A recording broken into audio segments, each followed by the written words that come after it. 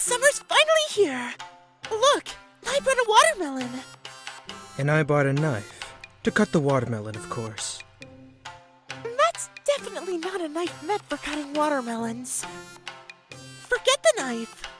As a summer tradition, of course we have to smash it. Hmm, I see. Then I'll grab the items a blindfold and a stick. This should be good, right?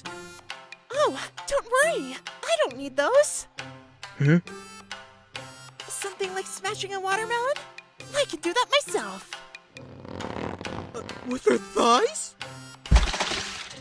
Wh- whoops. Once again, I don't know my own strength.